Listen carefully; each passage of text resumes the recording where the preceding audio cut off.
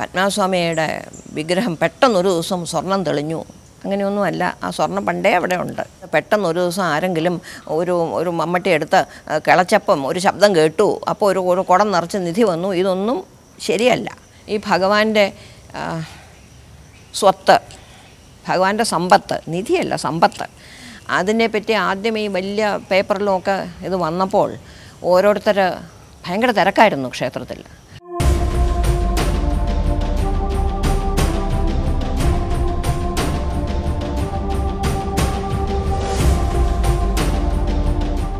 പത്മനാഭസ്വാമിയുടെ വിഗ്രഹത്തിനെ കുറിച്ച് പലരും പല കഥകളും പറയാറുണ്ട്.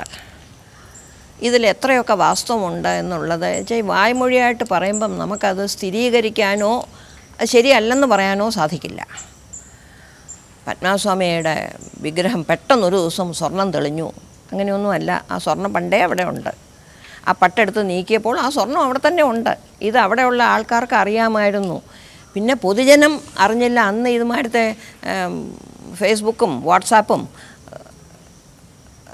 ഓരോ യൂട്യൂബ് ചാനലുകളും കാര്യങ്ങളും ഒന്നും ഇല്ലാത്തതുകൊണ്ട് അതിനെപ്പറ്റി വലിയ പബ്ലിസിറ്റി ഇല്ലായിരുന്നു എന്നുള്ള ഒരു കാര്യം മാത്രമേ ഉള്ളൂ. ഇതൊക്കെ പണ്ടേ ഉള്ളതാണ്.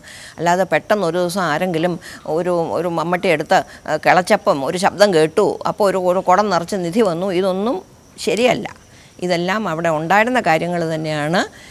ഈ സ്വർണം തെളിഞ്ഞു എന്ന് പറയുന്നതും ആ പട്ടിന്റെ ഇടയിലുണ്ടായിരുന്നു സ്വർണ അങ്കി ഈ ഒരു പാവാട പോലത്തെ ഒരു ഒരു ഒരു വലിയ അങ്കി ചാർത്തിക്കൊണ്ടിരുന്നത് അത് പണ്ടേ ഉള്ള കാര്യമാണ്.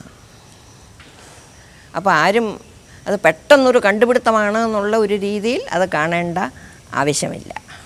ഈ ഭഗവാന്റെ സ്വത്ത് ഭഗവാന്റെ സമ്പത്ത് നിധിയല്ല സമ്പത്ത് അതിനെപ്പറ്റി ആദ്യം ഈ വലിയ പേപ്പറിലുമൊക്കെ ഇത് വന്നപ്പോൾ ഓരോരുത്തർ ഭയങ്കര തിരക്കായിരുന്നു ക്ഷേത്രത്തിൽ.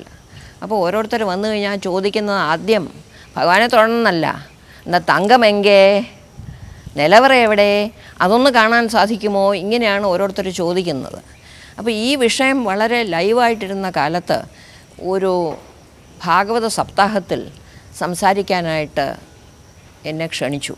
അത് വെൺമണി കൃഷ്ണന്റെ ഭാഗവത സപ്താഹമാണ്. അദ്ദേഹം വളരെ പ്രഗത്ഭനായ ഒരു പ്രാസംഗികനാണ്.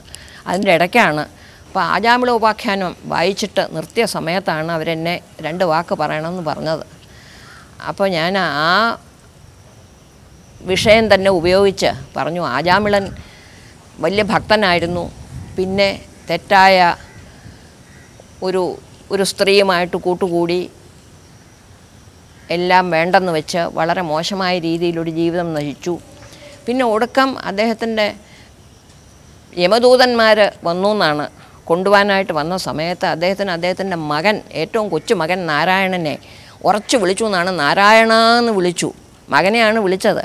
പക്ഷേ യമദൂതന്മാർ ഭഗവാനെ വിളിക്കുന്നത് കേട്ടോണ്ട് അവർ തിരിച്ചു പോയി എന്ന ഒരു ഒരു കഥയുണ്ട്.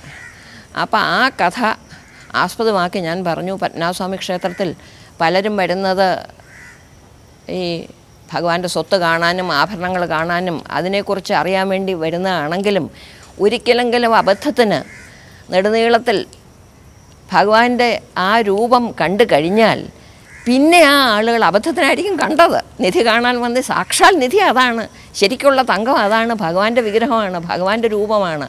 അപ്പോൾ അത് കണ്ടു കഴിഞ്ഞാൽ ഇനിയും ഒരിക്കൽ വരുമ്പോൾ ഭഗവാനെ തൊഴാൻ വേണ്ടിയായിരിക്കും വരുന്നത്. അപ്പോൾ അങ്ങനെയെങ്കിലും അവരെ ഈ നിധി കാരണം അവരെ മനസ്സിൽ ഭഗവത് ദർശനത്തിന് വേണ്ടി ഒരു എന്താ ഒരു വഴിതിരിപ്പ് ഉണ്ടാകുന്നല്ലോ അതിലെനിക്ക് സന്തോഷമുണ്ട്.